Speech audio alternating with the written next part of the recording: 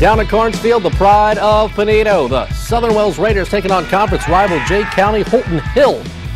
Looking and finding Daniel Ostrowski for the first down right there. And then it's Jay County's Michael Schlechte.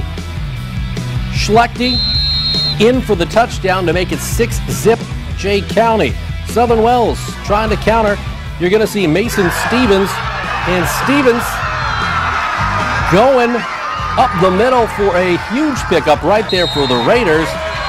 But Jay County, simply too much. Ryan Schlechte cutting outside for the first down right here. Then you're going to see Gavin Hare punch in the goal line touchdown as Jay County gets a win 49 0 over Southern Wells.